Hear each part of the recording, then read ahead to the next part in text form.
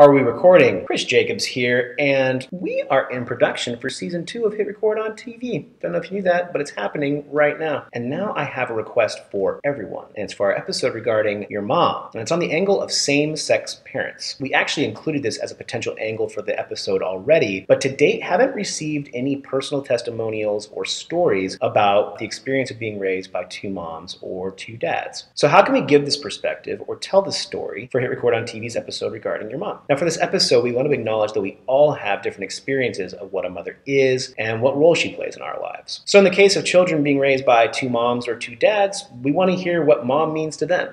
So, were you raised by two moms or two dads? Tell us about them. Or better yet, interview them on camera. Perhaps they can tell the story of how you became their son or daughter. Or maybe you know someone who has two moms or two dads that you can interview. What is their experience and perspective on motherhood specifically? What does the role of a mom mean to them? Also, as a different approach, maybe you're a writer and want to contribute either a true story or a fictional story that we can tell about a same sex couple raising a child.